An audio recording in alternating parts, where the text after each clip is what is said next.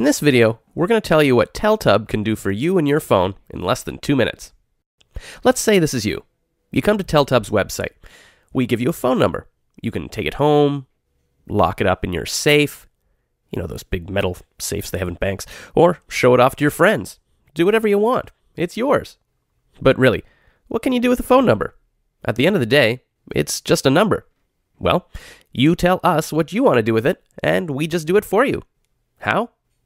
Well, we've got some components, uh, modules, or for lack of a better word, telephony applications.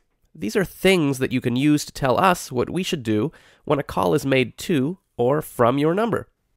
For example, you can use telephony applications to make sure you receive all the important calls and you aren't bothered with the phone calls that you don't want to answer. You can ask us to see who's calling you and forward the call to your cell phone if it's, say, your family and you want to talk to them. Or we can take a message if it's from the office while you're having lunch and you don't want to be at the office. Or just update your calendar if it's your buddy who wants to make some plans for the big game. You can also tell us what we should do when you place a phone call. You can ask us to take a look at the number that you dialed and find out if the person that you called has an instant message account and is online.